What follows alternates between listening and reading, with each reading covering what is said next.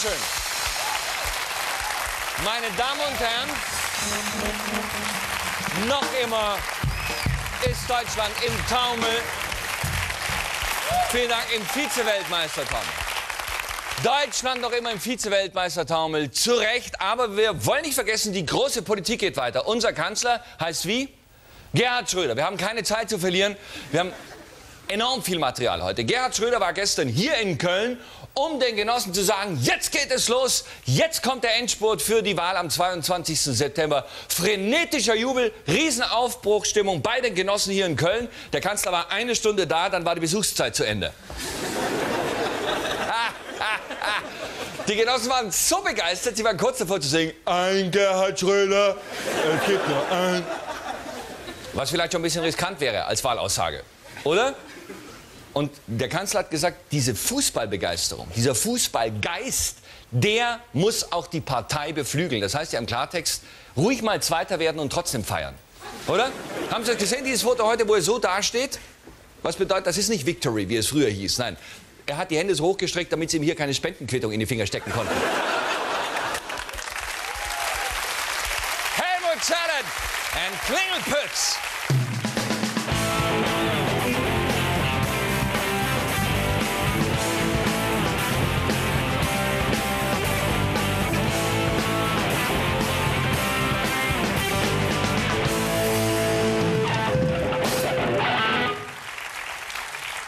Hier, dieses Mikro steht schon bereit, weil nachher vielleicht Wände noch dazu kommen, weil wir haben ein so unglaublich qualitativ hochstehendes und dicht gedrängtes Programm heute.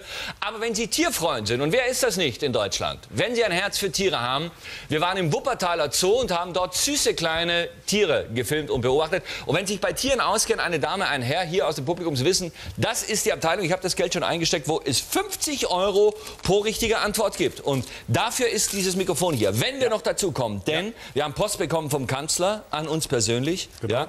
Wir haben das Projekt 0406, um die deutsche äh, Fußballnationalmannschaft zur Europameisterschaft und Weltmeister äh, zu führen. Und, und, und, meine Damen und Herren, Neues über Gerichtsshows. Ab sofort, ab Herbst, 48 Gerichtsshows im deutschen Fernsehen. Das Ende der Talkshows. Äh, alle Talkshows hören auf, bis auf Pastor Fliege. Naja.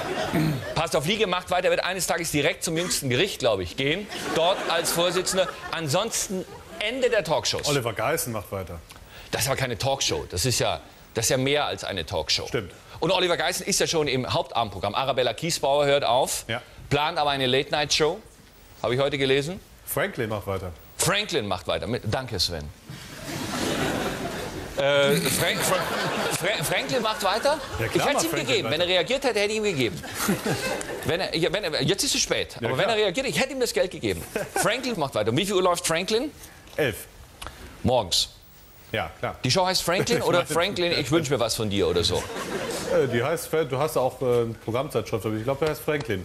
Ja, sie heißt Franklin, natürlich heißt sie Und Franklin. um 12 Uhr läuft danach äh, die Richter- Kollegin... Richter Vera nein, in Tween? Nein, nein, die... Ähm, ach ja, Vera in Wen läuft Vera, noch. Richter wäre in Tween. Ja, um 13 Uhr läuft doch ähm, ähm, Brit. Brit, genau. Brit. Talk am Mittag. Talk am Mittag Nee, das ist Vera Talk am Mittag. Vera Talk am Mittag. Ja. Und Brit, Brit heißt nicht Talk am Mittag? Nee, das heißt Brit. Brit, einfach Brit. Brit, Brit. Brit. Brit. Und dann geht's aber los mit zwei bei Calvas.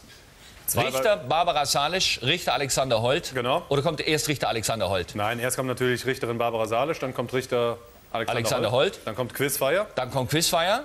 dann kommt 17.30 Wahnsinn. Dann kommt Ja, es geht dann so weiter. Ja, Blitz. nee, dann kommt äh, ähm, Blitz. 18 Uhr? Blitz, genau. 18 Uhr, Blitz. 18.30 das neue. Infotainment Boulevard Schocker Magazin. Und äh, RTL bringt drei Gerichtsshows Ja, hintereinander. hintereinander ab September. Bärbel Schäfer hört auf, geht, glaube ich, zum ZDF mit einer Gerichtsshow. Ich finde, es ist so einfach, mehr als Gerichtsshow Erfolg zu haben. Auch wir müssen umdenken, meine Damen und Herren. Ähm, es sind,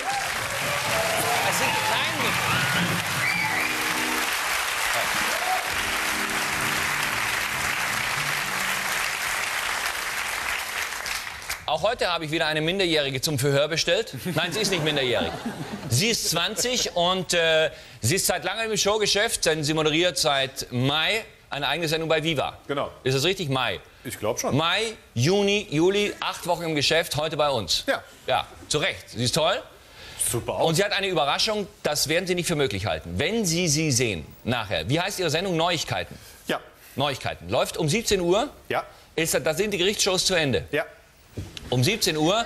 Heute zum ersten Mal bei uns unsere blutjunge, ungeschändete Kollegin als Richter. Muss ich auf dieses Vokabular eingehen? Ja? Das Tolle ist ja, diese Richtershows kann man ja mit dem Personal der Talkshows unmittelbar weitermachen. Bisher war es ja, du bist meine Mutter, ich schlag dir die Fresse ein, als Thema zum Beispiel. Ja. So, und jetzt wird einfach bei, bei, bei, bei Richter Gnadenlos sofort dieser Fall dann weiterverhandelt. Ja, du gehst sozusagen bei Vera zur Tür raus und bei Richter Salisch zur Tür rein. Ja? Sie waren gerade in der Talkshow, das gibt schon mal drei Jahre auf Bewährung. Und äh, vielleicht sollte ich noch einen Talar in Zukunft tragen, um dem Ganzen so eine Seriosität. Denn ich bin auf der einen Seite die letzte Tor äh, Richtershow des Abends und die erste des Morgens, denn wir gehen ja bis in den neuen Morgen rein. Genau. Ja. Heute Abend bei uns unsere großartige, zauberhafte, charmante, blutjunge Kollegin von Viva, Jelena. Jelena.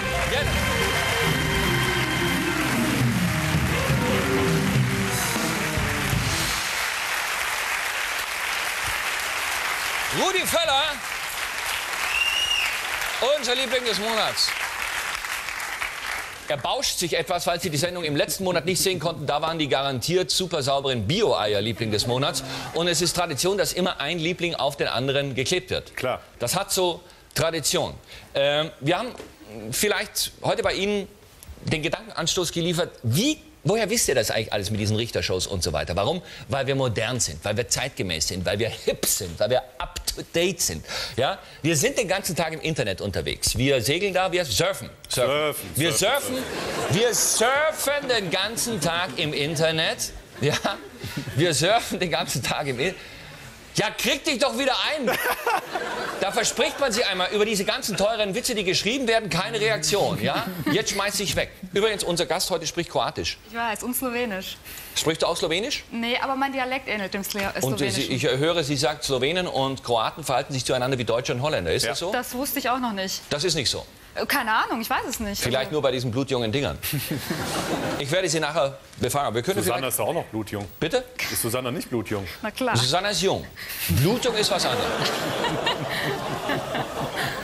Das rätseln viele zu Hause, wie alt Susanna ist. Es wird aber selten Susanna gesagt. Ich, ich höre es immer in Umschreibungen. Bitte? Die Frau mit den Karten, das Mädel, das dir die Zeichen gibt. Und, und am häufigsten, aber das kann ich nicht sagen. Sagst du es mir denn mal?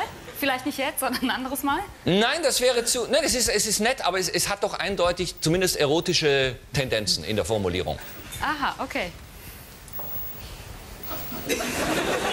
Häufig mittels eines Begriffs aus dem Wintersport. Es ist nicht Ski, es ist nicht Bob. Ich sag dir es bei anderer Gelegenheit. Okay. Aber unter Zeugen. Okay. Um mich nicht dem Vorwurf der, wie nennt man das, sexuellen Belästigung von Ja, der Mitarbeitern verbalen auszusetzen. sexuellen Belästigung. Ja. Weder belästige ich Mitarbeiter sexuell, noch werde ich sexuell belästigt. Leider. So, meine Damen und Herren.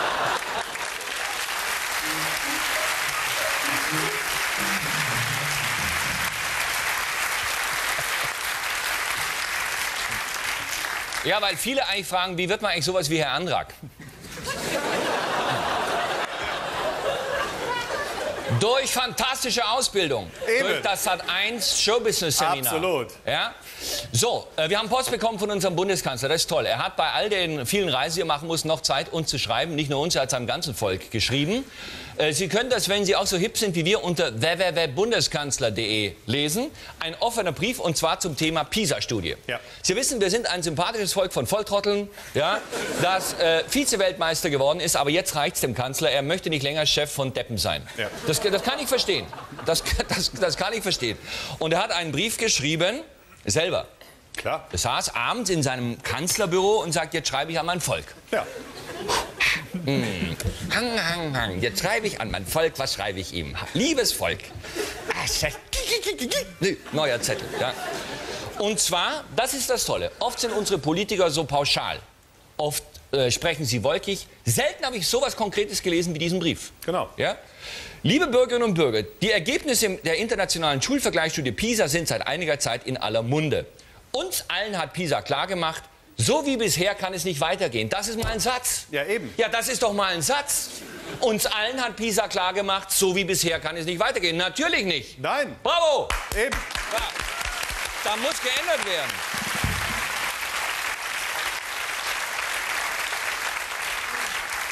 Jetzt geht es ein bisschen weiter. Ich kürze ab. Ja? Jetzt kommt ein toller Satz, den hat er auch extra abgesetzt in seinem. Da hat er mit der, mit der Hochtaste unserem Computer tick, tick weiter. Die Bundesregierung hat sich das Ziel gesetzt, Deutschland in zehn Jahren wieder an die Spitze der Bildungsnationen zu führen. Und das hat mich ein bisschen irritiert. Warum? 22. September. Ja, das ist ja so, wie wenn Berti Vogt sagt, 2006 mache ich Weltmeister in Deutschland. Ja, aber die Bundesregierung hat er nicht auch für alle zukünftigen mitgesprochen? Er kann doch nicht für eine künftige, vielleicht ist er auch Chef einer künftigen Bundesregierung ohne seine Partei oder wie oder was oder? Ach so. Ja, weiß, die Bundesregierung will es auf den Weg bringen oder so, aber das, das scheint ja, Okay. Gott sei Dank, er macht zehn Jahre lang weiter. Ja.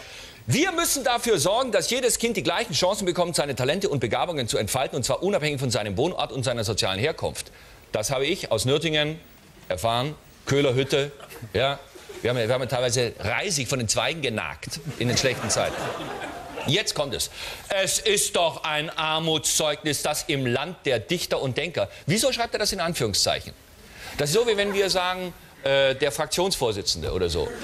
Peter Struck hat eine Rede gehalten, ja? Wir sind das Land der Dichter und Denker. klar. Brecht, Goethe, Goethe, Grass, Grass, Böll, Böll, Schiller, Lessing. Schiller, Lessing Fontane. Kant, Fontane. Das sind ja nur die, die Denker. Jetzt erst Ja, die Nietzsche. Dichter. Nietzsche. Nietzsche. Hegel, Hegel. Hölderlin. Humboldt. Wer? Humboldt. Humboldt, die Brüder Humboldt haben Eben. nicht nur die Welt entdeckt, sondern auch Universitäten gebaut nebenher.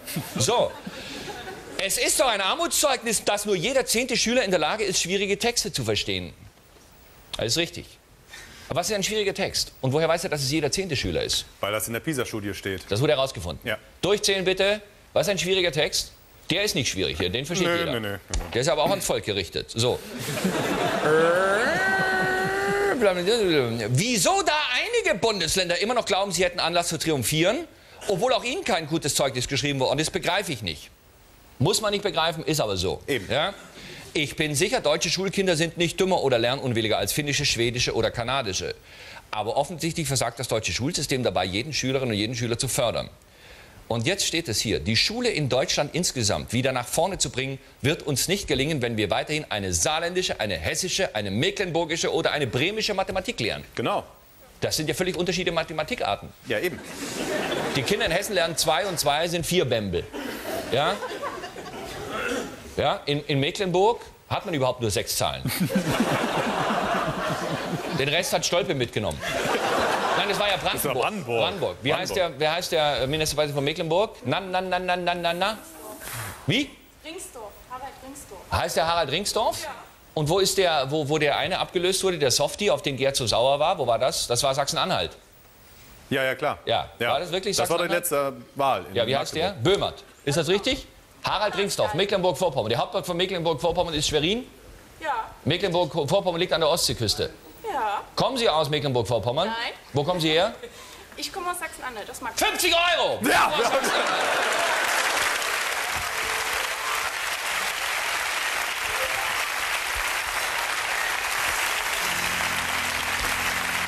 Herzlichen Glückwunsch, 50 Euro. Danke. Ja. Sie haben gerade Abitur gemacht? Ja. Welche Leistungskurse? Leistungskurse, Leistungskurse Mathematik und Biologie. Ja. Da habe ich mit 13 in Mathe und 14 in Bio. Wirklich? Ja, ja. Ja. Grundkurs Deutsch. Ja. Was wurde da so gefragt? So? Ähm, ich habe mich beschäftigt mit einem Gedicht von Friedrich Schiller. Schiller, meine Heimat. Welches Gedicht ist das? Oh, das weiß ich nicht mehr. Ich gebe Ihnen gleich mal den Brief vom Kanzler. Ne? Sie wissen es jetzt schon nicht mehr. Es ist schon Monat her, dass ich geschrieben habe. Wie lang? Ein Monat schon. Und da ist schon alles weg? Ja, Was machen Sie jetzt beruflich? ich fange im Oktober Jura an. Aha. Haben Sie schon eine Samtschleife? Für die Haare? Ja, natürlich. Habe ich mir bei Barbara Salisch ausgeliehen. Ja, die hat aber keine, weil die hat ja Ari Kurz. Ja, aber vorher. Das riecht der Holt mit der Samtschleife. So, viel Erfolg und wir sehen Sie sicher bald bei RTL in einer Gerichtsshow, ja? Und durchhalten, Herr Studio. So. Hier, Sachsen-Anhalt.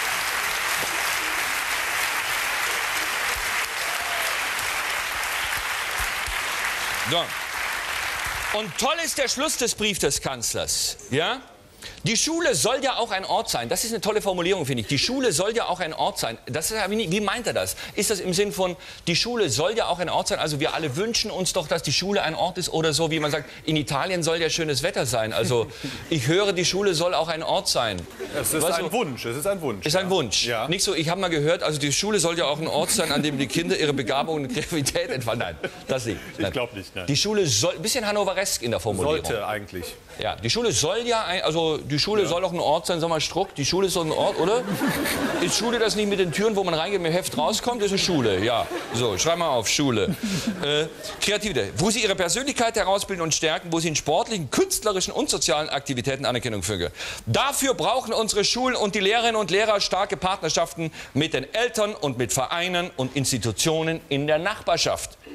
Letzter Satz des Kanzlerbriefs, unterstützen wir sie darin. Jawohl.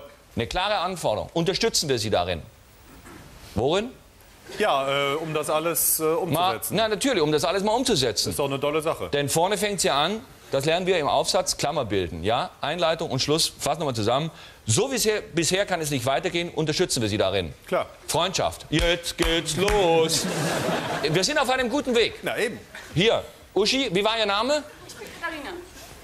Katharina. Katharina aus Sachsen-Anhalt, Jurastudium.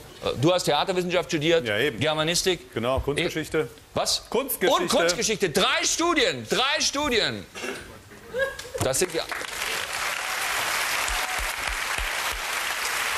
So. Jetzt. Ah.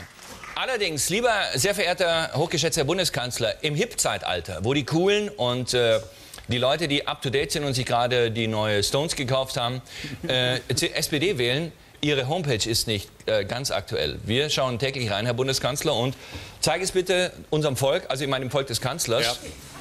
wenn wir auf Kanzler unterwegs gehen, eine schöne Rubrik, da sehen wir die Städte, in denen der? Kanzler kürzlich war. Jetzt frage ich Sie, meine Damen und Herren, wo war das WM-Finale? In Yokohama. War der Kanzler da? Ja. Ja. Wie lange ist das her? 48 Stunden. Nein, drei Tage mittlerweile. Nicht drin. Wo war er vorher? In den Rocky Mountains. Um Befehle von George Bush entgegenzunehmen. Unter dem Tarnbegriff G7-Gipfel. Ist das drin? Nein, das war in Kananaskis. Kananaskis, in der Nähe von. Calgary. Ja. ja. Schöne Gegend, standen sie alle vor den Rocky Mountains. Er hat den Hut nicht aufgesetzt, auch nicht drin. Nee. Das muss aber schon sein, dass die Homepage unseres Kanzlers, weil wir gehen täglich drei bis viermal auf diese Seite Ja, und es muss aktualisiert werden. Da stehen Uralttermine drin. Zum Beispiel, Zum Beispiel Okinawa, äh, 21. Juli 2000, Gipfeltreffen auf Okinawa. da waren ja mittlerweile schon viele Gipfeltreffen. Ja, zum Thema Ja. Ausbildung, Weiterbildung, Grundrecht auf Bildung. Pisa. Eben. Wohin man, aber da, das ist gut, dass ich da persönlich drum kümmere, da kann auch nichts mehr schiefgehen. Ja, genau. Das habe ich im Gefühl. So, dann, meine Damen und Herren, auf unserer Homepage gibt es etwas Neues, nämlich die Mitarbeiterinnen und Mitarbeiter haben einen Flohmarkt eröffnet. Das ist zum Beispiel unsere Kollegin Isabel und es kann nicht ersteigert werden, sondern Sie können es direkt kaufen. Ja, genau. Ich kann mal ein Beispiel geben. Also das äh, ist jetzt hier Corinna. Ja? Corinna äh, stellt dieses, Moment, muss ich mal, Shirt, Crazy Shirt von Custo Barcelona. Ist das ein Designer? Äh, jawohl, Custo Ja. ist wohl was Tolles. Also sie Kus- hat es In Größe M. in Größe M wohl noch nicht getragen. Ja? Und äh, ist hier, guck mal, hier ist noch ein Schildchen dran. Da kann man es sehen. Da ist noch das Schildchen dran. Und äh, das alles für 45 Euro. Also es ist jetzt nicht, wer den höchsten Preis zahlt, sondern wer die 45 Euro zahlt, mailt, hat es. Ja? Ja? Toll. Was gibt's noch? Es gibt noch hier äh, Isabel, ähm, die Handtasche und die Schlappen will sie los. Die Zum Hammerpreis von 3 Euro. 3 Euro. Das Kann man nichts sagen. Absolut. Ja? Die Handtasche schon 45 Euro. Gut, aber das ist ja auch ein bisschen aufwendiger. Klar, das ist Und Kyoko, Kyoko? bekannt von unserem WM-Tipp. Ja? Diesen Tretroller für Erwachsene für 35 Euro. Ja? Ist auch was Schönes. Dann haben wir hier Marco, das ist ein Sammlerstück aus dem Museum für Modern Art, ein Kalender Ja? für 35 Euro. Dann haben wir hier, Moment, ups, jetzt geht es nicht weiter. Hier Nina mit einer Hose und Schuhen. Scharfe Treter von Ja, und Äh, hier was, Steffis, äh, ein Buddy von Steffi in Größe 40. getragen oder nicht getragen? Nö, nicht ganz neu, aber schick steht. da. Was heißt nicht ganz neu? Was was heißt nicht ganz neu? Ja, wahrscheinlich gebraucht. Aber gewaschen. Hanro. Gewaschen. Ja, bestimmt. Deswegen billiger. Also, ja.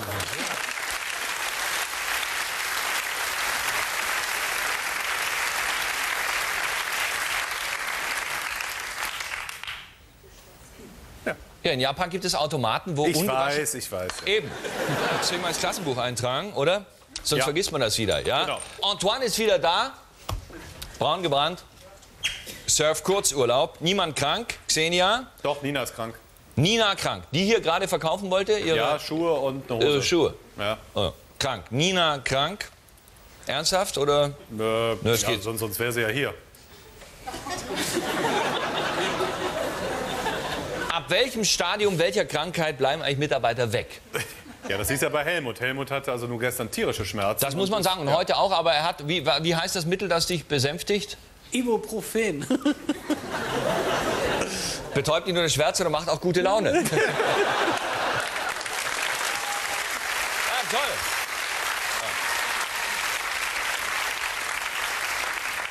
Thema heute, Kanzler greift durch. Das sagt alles.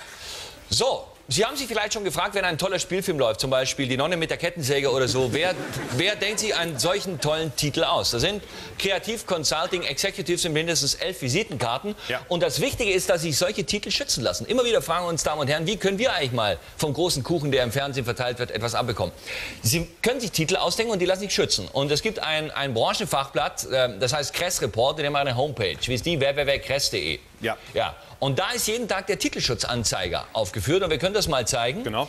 Der Titelschutzanzeiger und Sie werden auch sehen, es sind vorwiegend Rechtsanwältinnen und Rechtsanwälte, die sich dort die Titel schützen lassen, weil das sind natürlich die Profis. Das ist Neues aus dem, aus dem Titelschutzanzeiger. Also zum Beispiel die Sendung Heimat TV. Ja? Geschützt von Rechtsanwalt Holzports Kanzlei Höing, Höing aus Dienstlaken. Das ist wahrscheinlich eine, eine, eine Volksmusiksendung oder man irgendwie Gunter Emmerlich in, in barocken Gemäuern. Genau. Und so, wer also jetzt eine Sendung Heimat TV weltweit machen möchte, muss bei Rechtsanwalt Holzpotz anrufen und fragen, ob er den Titel haben kann. Ebenfalls geschützt der Titel Stille Nacht in Stalingrad Ja. von der Firma Broadview TV Köln. Was ist Stille Nacht in Stalingrad? Ist es Comedy? Ist es eine Weihnachtssendung? Ein Drama, ein, ein, ein Melodram, so ein TV-Movie, Schicksalsdrama. Ja. Es könnte auch, es spielt mit Sicherheit an Weihnachten, weil es ist dieses Lied Stille Nacht, Heilige Nacht. Ja. Hannes Jänecke als äh, Soldat. Als Soldat. Ja. Veronika Ferres als äh, russische Doppelagentin. Ja. Elke Sommer als Mutter des Soldaten zu Hause. Zu Hau- genau, genau. Und Also Armin Müller-Stahl als General Paulus. Ja. Und Schauspielschüler der Ernst-Busch-Schule als Langlaufskier, die abgeworfen werden. äh, über dem Kessel. Also Stille Nacht in Stalingrad ist ein Titel, den- Film würde ich mir zum Beispiel anschauen. Na klar.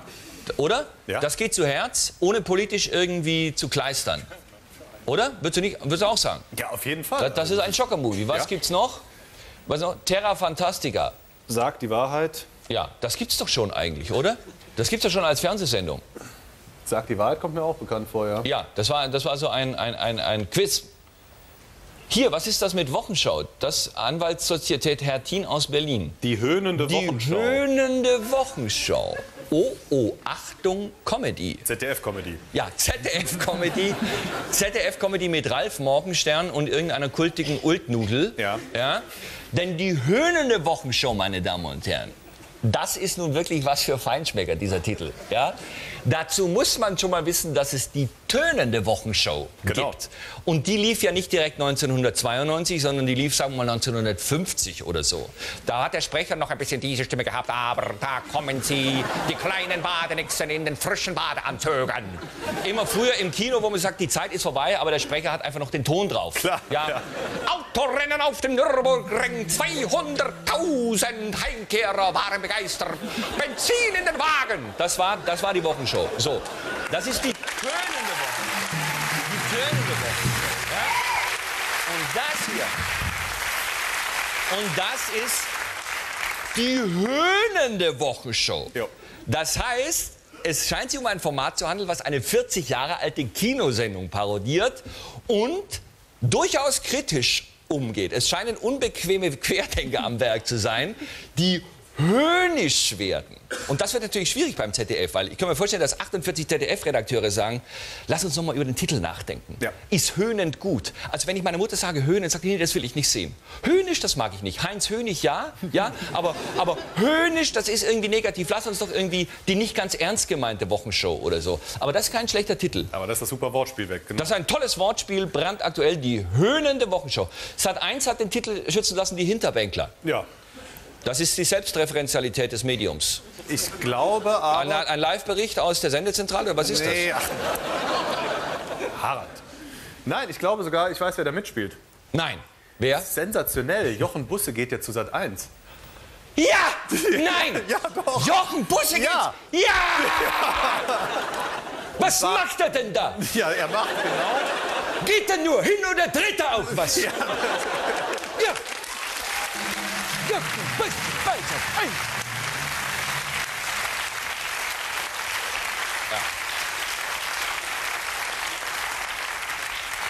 Ich glaube, das startet am 17. August, ist eine Politkomödie, passend zur Bundestagswahl. Ja. Zur Bundestagswahl? Genau, und beschäftigt sich eben mit den Ah. Bundestagshinterbänkern. Ich muss zur Sitzung. Ich habe so einen Durst, ich mache einen Weinbrand auf und so. Ach, genau. Das ist die Hinterbänkler. Ja. Ja. Und dann gibt es noch einen tollen Titel, das ist auch ganz toll. Deutschland hat Geschmack. Schauen Sie, das, ist, das vermittelt sich vor allem beim Hören toll. Dieses CMA groß geschrieben. Ja? Das ist irgendwie, scheint für ein Printmedium zu sein, oder? Nee, ist CMA nicht diese Interessensgemeinschaft, äh, Lobby für äh, super Lebensmittel? Ah. Das könnte eine Dauerwerbung Das vermittelt sein. sich ja knapp. Deutschland hat Geschmack mit CMA groß geschrieben. Ja. Äh, Pro7 hat die Titel Kein Mann für eine Nummer äh, angemeldet und Santa Claudia. Sicher eine Non-Movie, oder? ja.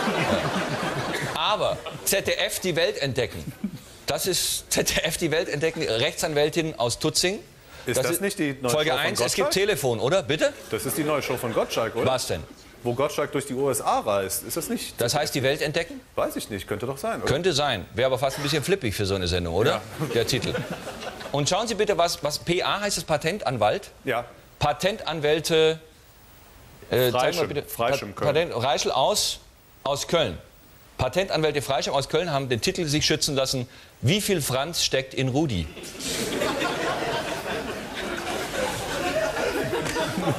Reischl hier, ich wollte mal einen Titel anmelden. Wie viel Franz steckt in Rudi? Tschö. Das wird eine Sportcomedy, oder? Klar. So. Die höhnende Wochenshow, da freue ich mich drauf. Das wird sicher im ZDF laufen. Samstag 16 Uhr. Klar. Wir werden Ja. gespannt sein. Die höhnende Wochenshow mit, mit, mit so äh, 60-jährigen Boulevardschauspielern aus Berlin als Punker. Tachchen, na hör mal, hast du mal eine Mark? So brandaktuell vom Slogan, vom Jargon her. Ja. Hör mal, Alter, ey, da kriegst du, war mit so einer Kette hier und, und so einem rosa Kamm. Wow. Unter Umständen live, wenn die Texte nicht zu scharf sind. Man will immer noch die Möglichkeit haben, etwas zu schneiden. Ja. So, jetzt kommen wir zu unserem Projekt 04, meine Damen und Herren, 0406, das großartige Projekt, mit dem wir unsere deutsche Nationalmannschaft bei der Titel, beim Titelgewinn der Europameisterschaft in Portugal und im eigenen Land unterstützen. Heute noch immer ohne Musik, denn Helmut brauchte heute. nicht geschafft. Äh, Ich ähm, musste mich noch ein bisschen erholen. Ich kann immer noch nicht richtig singen. Ich wollte das so mit viel Gesang machen, aber Nee, klar, also ich bitte dich, jeder andere hätte sich krank gemeldet mit, mit diesem, wie heißt das Mittel? Äh? Ibuprofen, übrigens 600 Milligramm nehme ich. Da habe ich eben mal nachgeguckt. das scheint schon die richtige Hauptdosis so zu sein. 600 Milligramm. Übrigens, das heißt Ibuflam, nur der Wirkstoff ist Ibuprofen. Ah.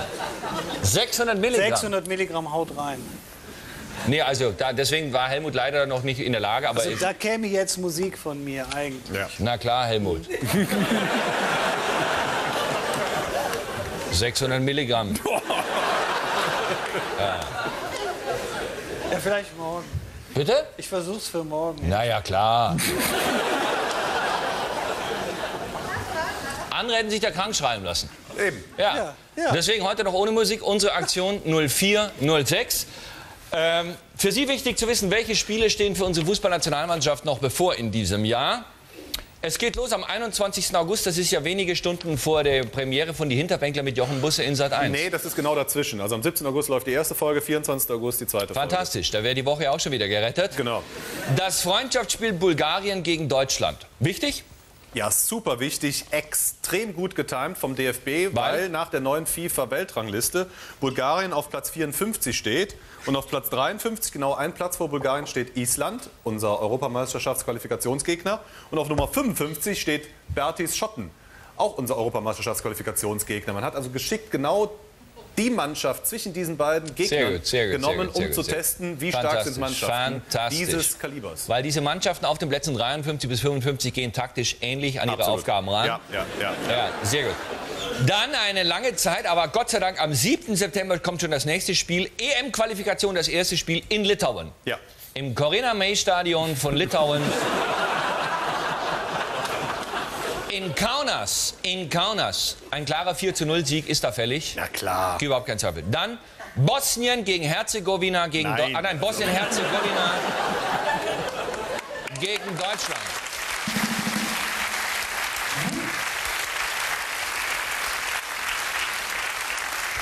Das gibt so diesen alten K&K-Witz. Gehen Sie morgen mit zum Fußball? Wer spielt? Österreich-Ungarn. Gegen wen? Für die Älteren. Die Höhnen der Wochenschau. Da wären Sie froh, wenn Sie sowas hätten. Na klar. Als Einstiegsgag. Ja. Bosnien-Herzegowina, ist es wichtig?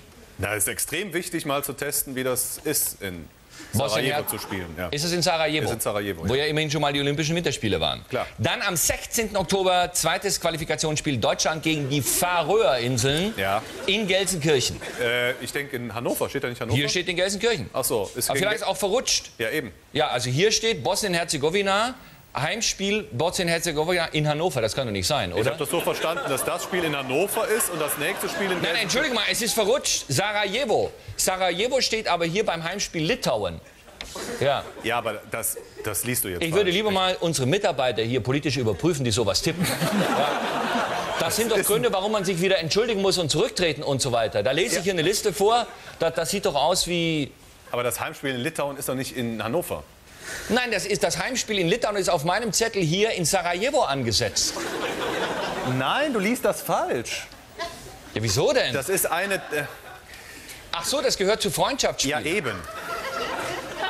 Ja, was sind das denn für Kürzel? ZD, Pf, AR. Das ist, wo das übertragen wird. ZDF und ARD sind Sender.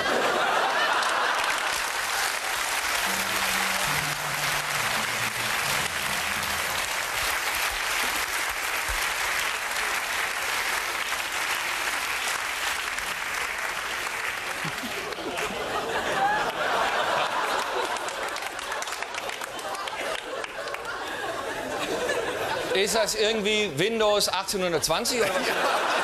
Was ist das für ein Programm?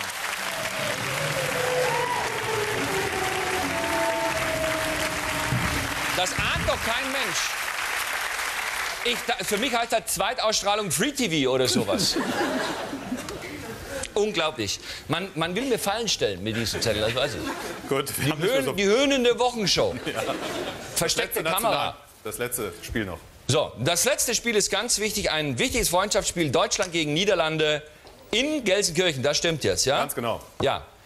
Tolles Spiel. Ja. Es geht um nichts. Genau. Fantastisch, man ist begeistert. Welches Bier trinkst du heute? Ich trinke heute auf unsere boomenden Aktienmärkte eine Bärenweiße. Ja, auf unsere boomende Aktienmärkte. Ja. ja. Ja. Hast du Aktien? Bist du noch drin? Ich habe es ganz vergessen. ja, ich kann euch jetzt nicht verkaufen. Hast du nicht mal irgendwie neulich so eine Volksaktie gekauft, wo du gesagt hast, wohin soll die denn noch fallen?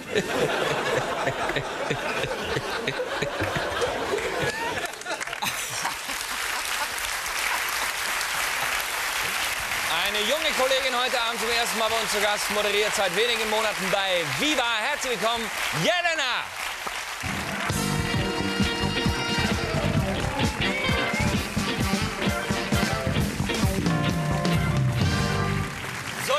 Möchte ich das erstmal aufklären, wie das ist mit deiner Herkunft. Du bist, wo bist du geboren? In Gelsenkirchen. Das heißt, du bist Deutsche.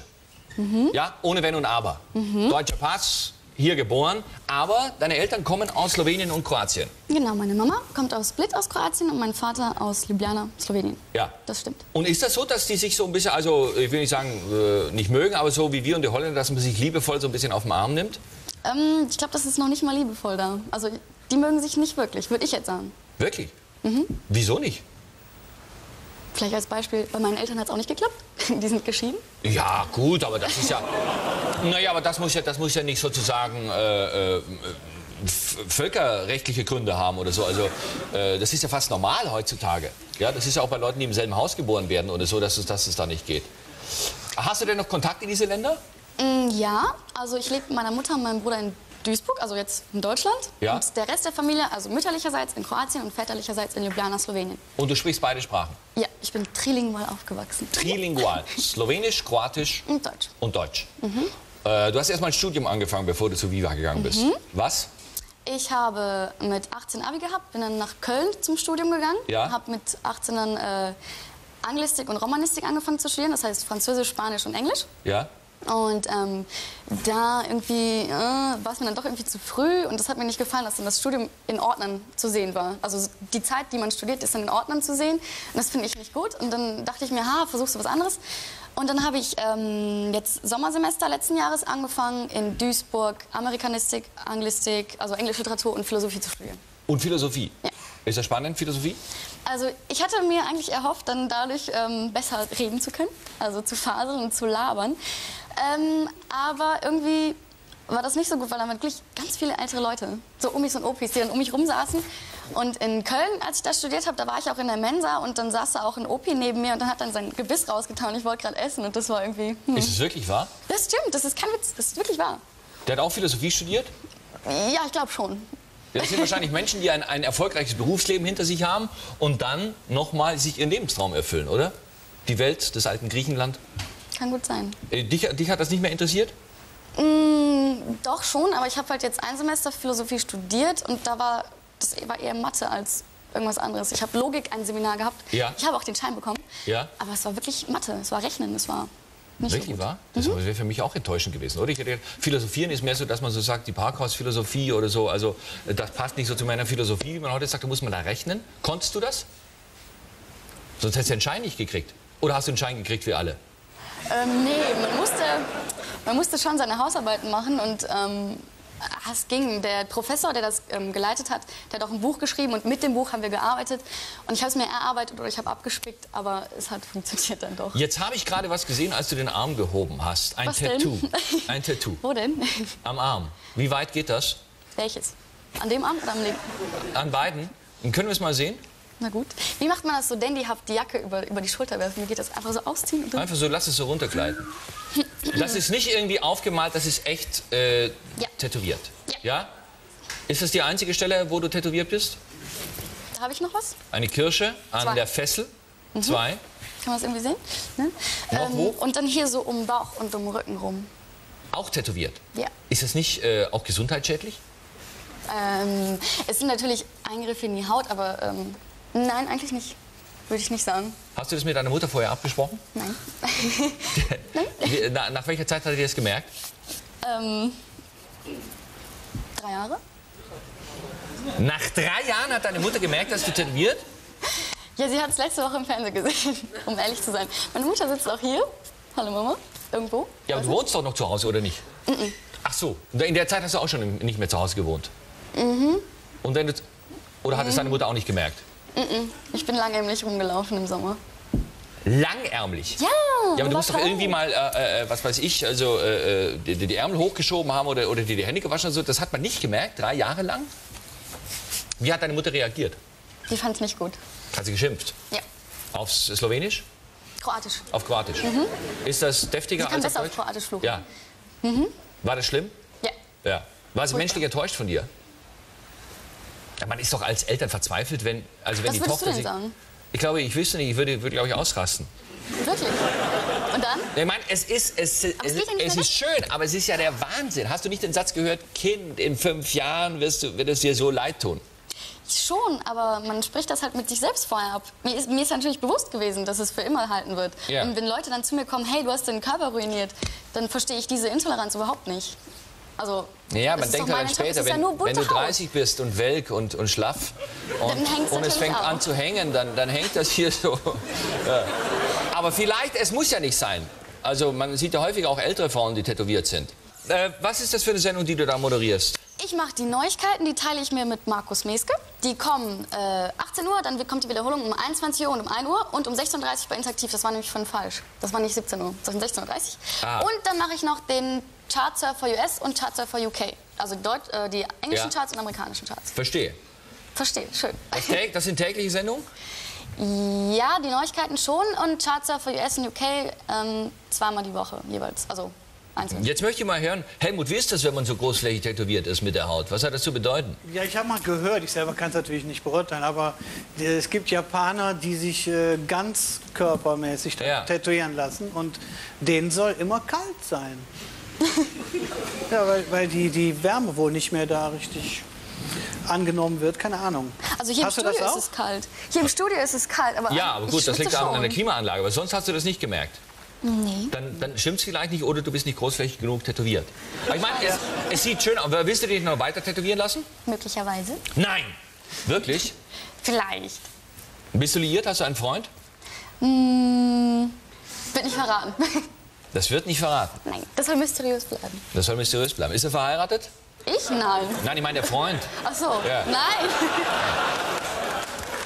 Interessierst du dich für Politik? Ein bisschen. Du kennst aber die großen Parteien und so, ja? Ich würde sagen, das hatten wir noch nie. Eine tätowierte Viva-Moderatorin. Lies mal bitte das Ergebnis unserer Wahlumfrage heute im Publikum vor. Vielleicht so, dass man das, ja, das, das, hat das So könnte die Politik eigentlich noch mal ganz andere Zielgruppen gewinnen, oder? Das ist das Ergebnis der Umfrage heute. Die Damen und Herren haben wieder abgestimmt vor Beginn der Sendung. Jelena, bitte. Mhm, für alle, die dies da nicht lesen können. Ähm, Wahlberechtigte 244, gültige Stimmen 232, Wahlbeteiligung 95,1 Prozent. Das ist gut, das ist sehr viel. So, jetzt die einzelnen Parteien, bitte. CDU, CSU 31 Prozent, SPD 25 Prozent, äh, Grüne 16,4, FDP 20,7. Furchtbar. Und die PDS? PDS 6,9. Die sind konstant geblieben. Die P FDP stürzt ab. Was ist da passiert? Tja, Wir werden, das, wir werden das erforschen. Gehst du wählen? ja, Du weißt auch schon was? wird auch nicht verraten. Nee, natürlich nicht. Wir haben freie und geheime Wahlen. Jela, das war sehr interessant. Ich Ist drück schon dir sehr. Ja. Nein, Ja, hör mal, das war eine Viertelstunde. zum Quatsch. Ja, na, hundertprozentig. Wieso denn? Wie lautete die Anklage? Für dich? Richter Harald. Freispruch. Wegen, erwiesen, Yeah. wegen erwiesener Unschuld. Sehr gut. Danke dir. Viel Erfolg. Alles Gute. Meine Damen und Herren, morgen Abend bei uns zu Gast.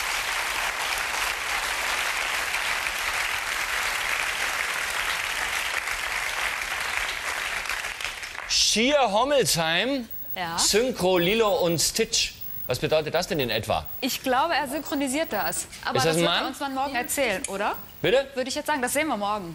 Das sehen wir morgen. Ist das ein Mann? Ich glaube. Heißt er Schir oder Schör? Nein, das ist ein Mädchen. Oh. Das ist ein Mädchen. Ein elfjähriges Mädchen.